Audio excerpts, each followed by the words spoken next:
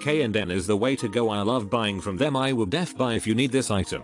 Fits perfectly. This will fit your 06 and newer Raptor 350s. The K&N filter works great on my 04 Yamaha Warrior 350. I can feel the difference on the power band. Quite airish, you can almost see through it. I put a foam filter over it as I was concerned about small particles entering the intake. Can't go wrong with K&N filters. Purchased this for our ATV as we already have them in our vehicles. Love the K&N nice increase in power and throttle response. Easy as this if it's K&N it's top of the line but I did find this to be hard to push in and get the top of the air breather on just make sure you have your right side in the right place lol perfect replacements for the OEM in my Yamaha Grizzly 600. Very hard to stretch new foam on the old ones. Expensive but nice to fix. Perfect fit for factory replacement 1995 Wolverine. I also modded the airbox lid for additional flow grade add-on when you are already piping and jetting your quad. Drops in great, and does away with the need for the factory air cleaner housing.